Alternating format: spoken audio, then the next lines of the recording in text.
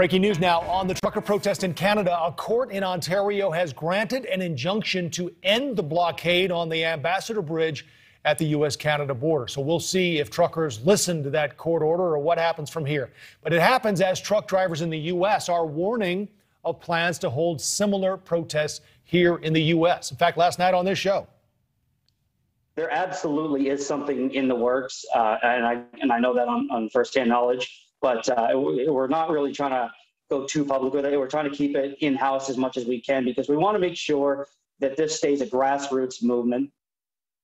That was Brian Ilesley, a driver we had on the show last night. Today, we're seeing signs he was probably onto something and knows what's happening, specifically on social media, where some digging reveals private Facebook groups are forming with names like this one here Freedom to DC. Some truckers even reportedly laying out specific plans for the routes the convoy will take to Washington, D.C., as they're even advising each other to avoid big cities. A source sent us this screenshot earlier today.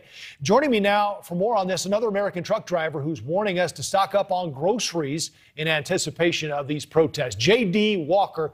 JD, it's good to have you with us. Uh, what do you know about what's happening? Is this is this going to go down, do you think, here in the U.S., similar to what we're seeing in Canada? I believe so. I believe it's coming. It's coming straight to the states. I hope. I hope. I hope that I'm that I get involved with it. Really? Yes, sir. And now, yes, are, are, we talking about a convoy here, JD, or are you talking about similar blockades? Uh, I'm talking about convoys. Now, I, if it was left up to my devices, I'd have convoys going throughout the states right now.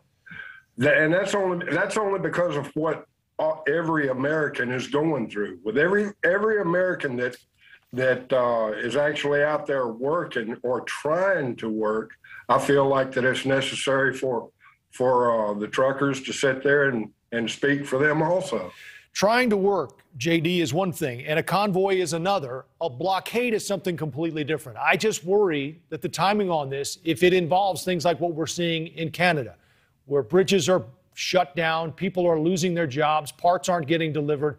You guys have built up a lot of goodwill. You got us through the pandemic when no one would leave their house and you guys delivered our goods. I'm just worried, are you, that you lose that goodwill if you start to put up a roadblock like this? I don't believe it's going to be a roadblock like what's happening up there in Canada. I don't think that'll happen. I okay. believe it'll be a, a, flow, a flow of trucks. That's what I believe. All right. Um, I'm, I'm curious as far as what you think uh, will be the fallout from this, though. Um, and, and my other question is I mean, we are so hurting for you guys right now. The last I saw, we're talking about hiring 18 year olds to drive big rigs. Um, how is it that you guys have the time to even do this, to pull off a convoy when, when you have, I'm sure, plenty of work? Well, sometimes you have to you, you have to put priorities in order. When you putting your priorities in order, you know you've got to do what you got to do to get to get through the day. Mm-hmm. That's how I feel about it. What are you protesting, JD? I mean, the, the truckers don't have a mandate to get the vaccine, right? They were left out of that federal mandate for transportation, and, and a lot of states are, are dropping mask mandates right now. Why would you take part and look forward to taking part in these convoys to protest?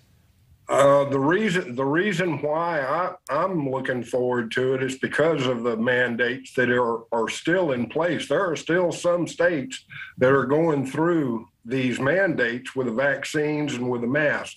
The way that I feel about it, I believe that it should be everybody's choice, not just you know not being forced to do it.